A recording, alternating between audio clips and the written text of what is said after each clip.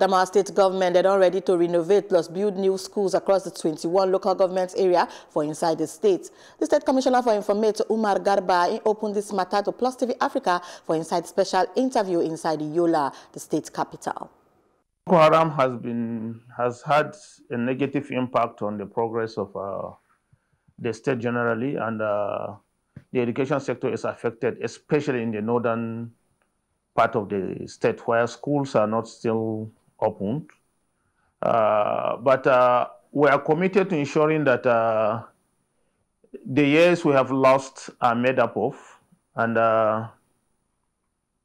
and we try as much as we can to ensure that the necessary investment in the education sector is done. Our teachers are, are well motivated. Our schools are properly secured.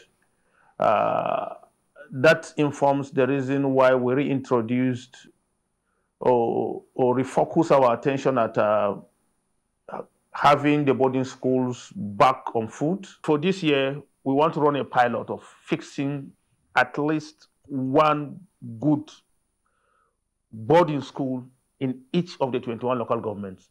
Then for the Yola, because Yola is metropolitan and there are, there, we, also have the legacy, what we call the legacy schools we have the GMMC and uh, the GGSS.